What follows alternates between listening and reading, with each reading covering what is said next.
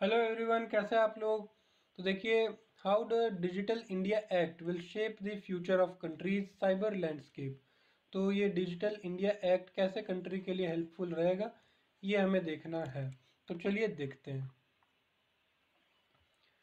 Nation world wide are grappling with the need of need to update their legal framework to adopt to the evolving digital landscape.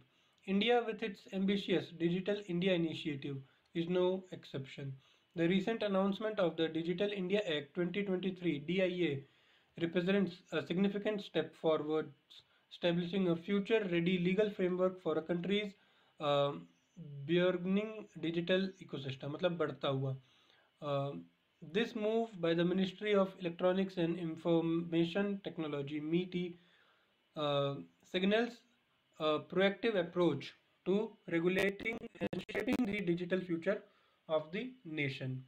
Moving with the line, अब क्या है चलिए देखते हैं the D I A digital India initiative आपका हो गया digital India act digital India act 2023 poised to replace the two decade old information technology act 2000 तो 20 साल पुराना जो एक्ट है आईटी एक्ट है अपना उसको ये रिप्लेस करना चाह रहा है is designed to address the challenge and opportunities present by the dynamic growth of the internet in emerging technologies. देखिए, बात क्या है, जब 2000 में ये एक्ट बना होगा तो शायद उस समय ये टेक्नोलॉजीज़ नहीं होंगी जो आज प्रेजेंट टाइम में है। तो जब प्रेजेंट टाइम की नई टेक्नोलॉजीज़ है तो उनको टैकल करने के लिए नए लॉज भी होने चाहिए। तो ये आपका डी आई ए उसके लिए हेल्पफुल रहेगा।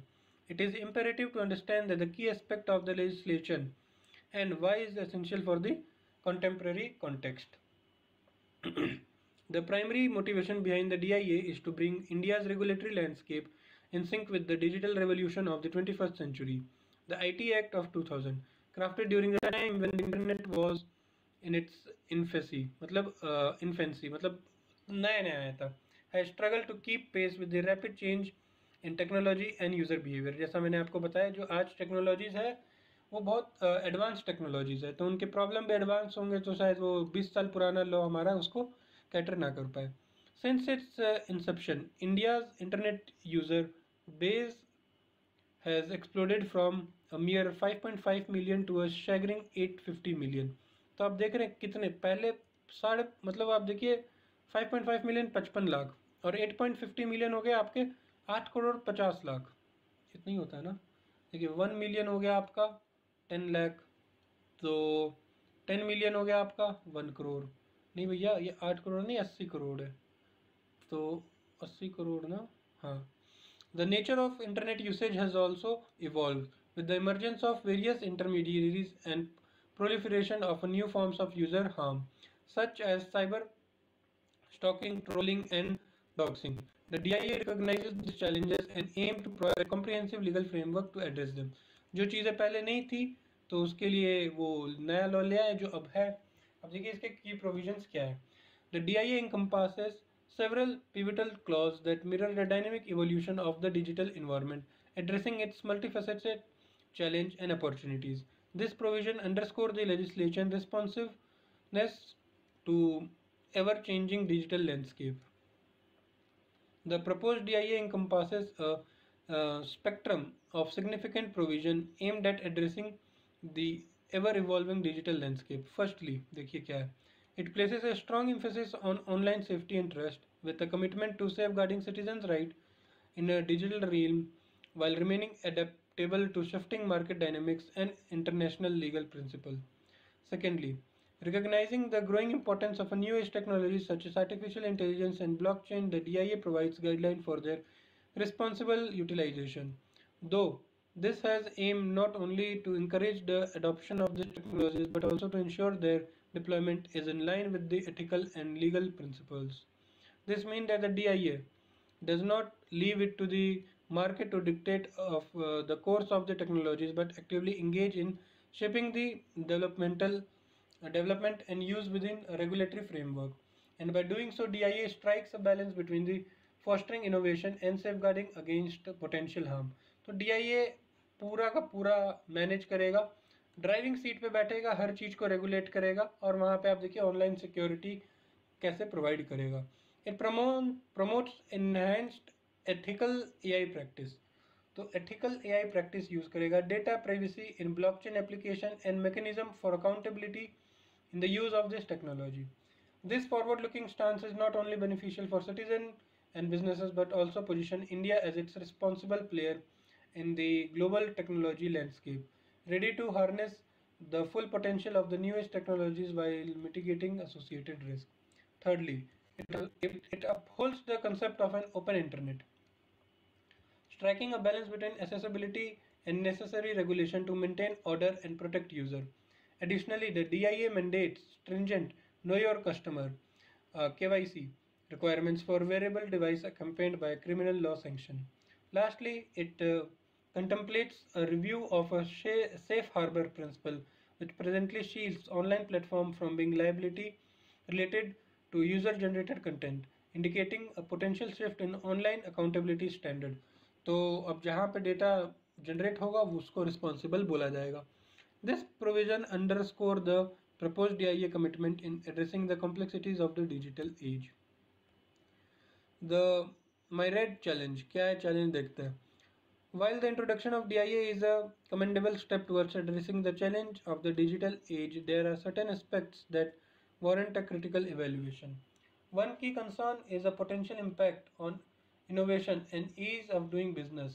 Stricter, stricter regulation, particularly in emerging technologies, could inadvertently uh, stifle entrepreneurial initiative and deter foreign investment. Additionally, the review of the safe harbor principle which shields online platform from liability. मतलब हम जैसे online platform है वहाँ पे कोई user data generate हुआ है तो वो प्लेटफॉर्म की ज़िम्मेदारी नहीं है। देखिए shields online platform from liability तो वो लोग रिस्पॉन्सिबल नहीं है। तो अब वो लोग को रिस्पॉन्सिबल बोला जाएगा। ठीक है approach among this platform possibly impinging on freedom of the expression. Furthermore, the DIA success hinges on effective enforcement, which will require substantial resource supply, expertise, and infrastructure, balancing the interest of various stakeholders, including tech giants, while ensuring the protection of citizen rights poses a significant challenge.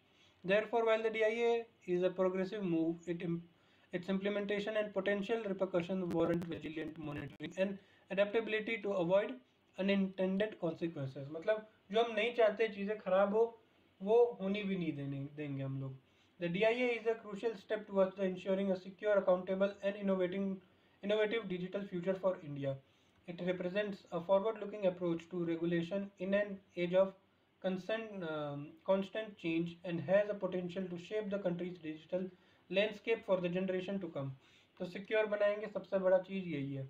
Consultation continue it will be interesting to see how this propose legislation evolve and play out in dynamic digital arena तो ये चीज़ कैसे आगे काम करती है? अब देखते हैं एग्ज़ाम पॉइंट ऑफ़ व्यू से हमारे लिए इंपॉर्टेंट क्या हो जाता है इस आर्टिकल में। सबसे पहले हमारे लिए डी आई ए इम्पोर्टेंट हो जाता है, आप देखिए। ठीक है, इस एक्ट के प्रपोजिशंस क्या है? क्या क्या इसका प्रपोजल है? ठीक है, ये हमने देखा। ये हमारा ऑनलाइन सिक्योरिटी यहाँ पे जो फ़र्स्ट सेकंड एंड थर्ड ये पॉइंट्स हमारे लिए इम्पोर्टेंट होते हैं। जैसा मैंने वीडियो में समझा ये एथिकल आर्टिफिशियल इंटेलिजेंस को प्रमोट करता है, ठीक है? आप देखिए, ये किसको लाइबल करता है? लाइबिलिटी आपके ऑनलाइन प्लेटफॉर्म्स के ऊपर दे देता है। तो यहाँ पे सिक्योरिटी इंक्रीज करता है, ठीक है? और ऑनलाइन सेफ्टी और ट्रस्ट को कम प्रमोट करता है। ओपन इंटरनेट को प्रमोट करता है हमने कहीं पे पढ़ा था। ठीक है? तो ये सारी चीज़ें हमें इसमें ध्यान रखनी है। क्यों? और किसको रिप्लेस कर रहा है? आईटी एक्ट ऑफ़ अपना 2000 को रिप्लेस कर रहा है। क्यों? क्योंकि आप देखिए, पहले 5.5 मिलियन लोग थे तो अब 850 मिलियन लोग इंटरनेट यूज़ कर रहे हैं। Changing trends plus advance technologies और यहाँ पे इसके चैलेंजेस क्या है? कई जो टेक जॉइंट्स है वो यहाँ पे उनको बुरा ना लगे, उनको हम हार्म ना करें उनके बिज़नेस को। कैसे? सिटीज़न के राइट्स को सिक्योर करने में। तो क्या हमें सिटीज़न के राइट को सिक्योर नहीं करना है? तो नहीं करना भी है। तो वही बैलेंस इज़ द की कैसे दोनों के बीच में बैलेंस बनाए ये तो इंडिया इसमें बहुत है। स्ट्रिक्टर रेगुलेशन है इसमें। ठीक है? बस इस आर्टिकल में हमारे लिए इतना इंपॉर्टेंट था। So thank you guys and please work hard to achieve all your dreams and हाँ ये ministry of electronics and information technology का है। So thank you guys and please work hard to achieve all your dreams